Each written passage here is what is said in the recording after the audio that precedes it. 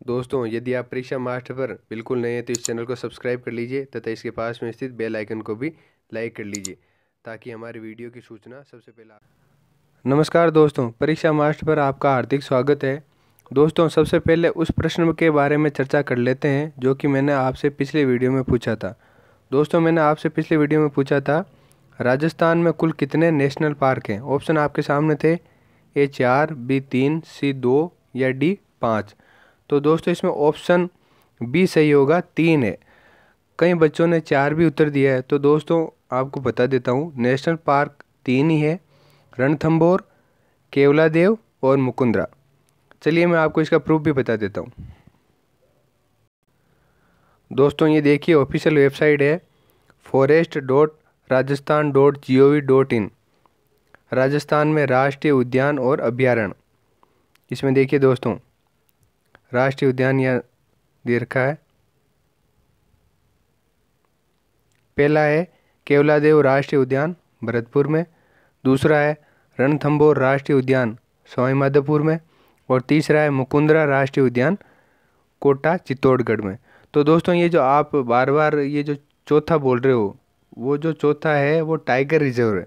और ये ये भी जो तीनों, ये भी टाइगर रिज़र्व है। तो टाइगर रिज़र्व चार हैं। चौथा जो लेटेस्ट बना है, वो रामगढ़ विजदारी बना है, बूंदीवाड़ा। लेकिन इसको राष्ट्रीय उद्यान का दर्जा नहीं दिया गया, ये टाइगर रिज़र्व का दर्जा दिया गया। तो ये ध्यान रखना, इसके बीच में आपको कन्फ्यूज़न नहीं होना।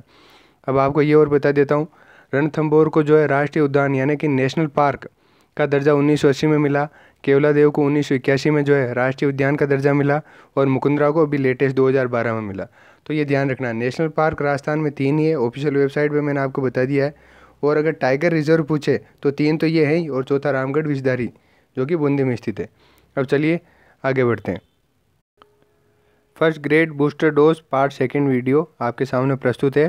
पहला प्रश्न, हाल ही में भारतीय सेना द्वारा कहाँ पर सीमा और तटीय सुरक्षा के पहलुओं पर सुरक्षा मंथन 2022 का आयोजन किया गया? ऑप्शन आपके सामने है, A Jodhpur, B Bikaner, C Jaisalmer या डी बाड़मेर। तो दोस्तों, इसमें ऑप्शन ए सही होगा, जोधपुर। इसके बाद सेकंड है क्वेश्चन नंबर सेकंड गीता विज्ञान उपनिषद नामक पुस्तक के लेखक हैं। A. Hariprasad Sharma, B. Gulab Kothari, C. Surendra Awana, या डी. सुंदर, सुधीर भंडारी। तो दोस्तों, इसमें ऑप्शन बी सही होगा, गुलाब कोठारी। गीता विज्ञान उपनिषद पुस्तक के लेखक कौन है? गुलाब कोठारी, जो कि राजस्थान पत्रिका के प्रधान संपादक हैं। इसके बाद नेक्स्ट है क्वेश्चन नंबर थर्ड मुख्यमंत्री चिरंजीवी दुर्घटना बीमा योजना की शुरुआत कब हुई? एक मई 2022 को, एक मई 2021 को, पाँच मई 2022 को या पाँच मई 2021 को? तो दोस्तों, इसमें ऑप्शन ए सही होगा। पाँच मई 2022 को मुख्यमंत्री चिरंजीवी दुर्घटना बीमा योजना की शुरुआत हुई। और इसमें पाँच लाख तक का दुर्घटना बीमा किया जाता है। इसके बाद नेक्स्ट है क्वेश्चन नंबर फोर मुख्यमंत्री चिरंजीवी स्वास्थ्य बीमा योजना की शुरुआत कब हुई? अब देखिए दोस्तों, ये मैंने दोनों प्रश्न इसलिए साथ में लिए हैं, तीसरा और चौथा का। वो मुख्यमंत्री, जो क्वेश्चन नंबर थर्ड है, वो मुख्यमंत्री चिरंजीवी दुर्घटना बीमा योजना है। और अगर ये पूछे, मुख्यमंत्री चिरंजीवी स्वास्थ्य बीमा योजना। तो ये दोनों अलग अलग हैं और दोनों की डेट भी अलग अलग है। उसकी एक मई 2022 है। तो दोस्तों, इसकी कौन सी होगी देख लेते हैं। एक मई 2021 एक मई 2022 पाँच मई 2021 या पाँच मई 2022 तो दोस्तों, इसमें ऑप्शन ए सही होगा, पाँच मई 2021 यानी कि मुख्यमंत्री चिरंजीवी स्वास्थ्य बीमा योजना, जो कि दस लाख तक का बीमा कवर देती है, वो एक मई 2021 को शुरू हुई और जो 2022 में जो शुरू हुई, उसका क्या नाम है? मुख्यमंत्री चिरंजीवी दुर्घटना बीमा योजना। तो ये आप ध्यान रखना, वहाँ कन्फ्यूज़न मत होना इक्कीस बाईस में। जो दुर्घटना वाली है वो बाईस में है और जो स्वास्थ्य बीमा योजना है, वो इक्कीस में है और दोनों में एक मई सेम डेट है। इसके बाद नेक्स्ट क्वेश्चन नंबर फाइव 2011 की जनगणना के अनुसार राजस्थान में महिला साक्षरता दर है। दोस्तों, ये पीटीआई एग्ज़ाम आरपीसी द्वारा 25 सितंबर 2022 को जो आयोजित हुई थी, उसमें पूछा गया था, और भी दो तीन प्रश्न मैंने इस वीडियो में शामिल किए हैं, जो कि करंट अफेयर से रिलेटेड हैं और इस परीक्षा में पूछे गए हैं। तो दोस्तों, अब ऑप्शन देखते हैं। बावन दशमलव चार, बी तिरपन दशमलव दो प्रतिशत, सी इक्यावन दशमलव आठ प्रतिशत, और डी बावन दशमलव एक प्रतिशत। तो दोस्तों, इसमें ऑप्शन डी सही होगा। राजस्थान में महिला साक्षरता दर बावन दशमलव एक प्रतिशत है। इसके बाद नेक्स्ट है क्वेश्चन नंबर सिक्स। विश्व ओजोन दिवस कब मनाया जाता है? ए सोलह जुलाई को, बी अट्ठाईस जुलाई को, सी सोलह सितंबर को, या डी बाईस सितंबर को। दोस्तों, ये भी पीटी एग्ज़ाम में पूछा था। ऑप्शन सी सही होगा दोस्तों। सोलह सितंबर को। इसके बाद नेक्स्ट है क्वेश्चन नंबर सेवन। ये भी प्रश्न पीटी एग्ज़ाम में पूछा गया। राजस्थान का चौथा टाइगर रिज़र्व देश में अधिसूचित किया गया है। ये देखिए, लेटेस्ट पूछ लिया है। ए बूंदी में बी रामगढ़ में सी मुकुंदरा में या डी कुंभलगढ़ में। अब कई बच्चे बूंदी और रामगढ़ में कंफ्यूज हुए होंगे, लेकिन दोस्तों, अगर जिला पूछा होता तो हम बूंदी करते। यहाँ पूछा है, कहाँ अधिसूचित है? राजस्थान का चौथा टाइगर रिज़र्व देश में अधिसूचित है। तो वो रामगढ़ विषधारी, उन्होंने विषधारी लिखा नहीं है, रामगढ़ लिखा है तो ये रामगढ़ ही होगा।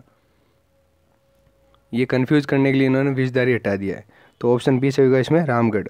इसके बाद नेक्स्ट है क्वेश्चन नंबर एट अगस्त 2022 में किस भारतीय राज्य ने ऋण के माध्यम से महिलाओं के सामाजिक और आर्थिक विकास के लिए महिला निधि ऋण योजना शुरू की? अब देखिए 25 सितंबर को एग्ज़ाम है और अगस्त 2022 तक का करंट अफेयर यहाँ पूछा है।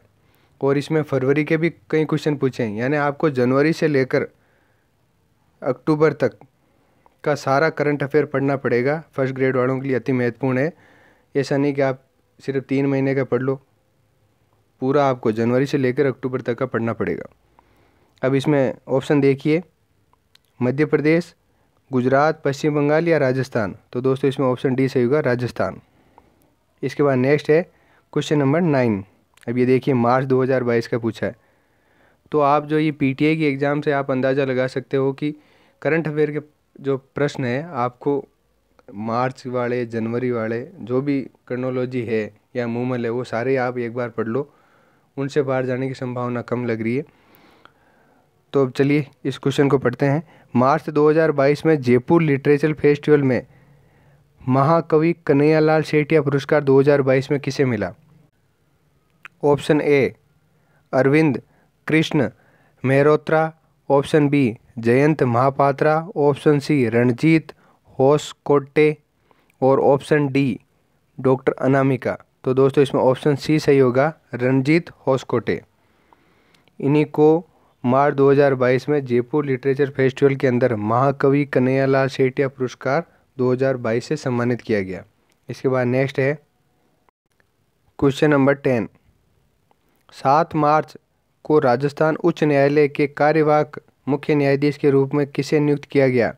ए, न्यायमूर्ति अब्दुल्ला कुरैशी, बी, न्यायमूर्ति मनिंद्र मोहन श्रीवास्तव, सी. न्यायमूर्ति श्रीपति रविंद्र भट्ट या डी. न्यायमूर्ति इंद्रजीत मोहंती। तो दोस्तों, इसमें ऑप्शन बी सही होगा। न्यायमूर्ति मनिंद्र मोहन श्रीवास्तव। इसके बाद नेक्स्ट जो क्वेश्चन है वो आपके लिए है, जिसका उत्तर आपको कमेंट बॉक्स में देना है। आपके लिए जो प्रश्न है वो आपके सामने ये रहा। राजस्थान के वर्तमान मुख्य सचिव कौन है? A. Niranjan Arya, B.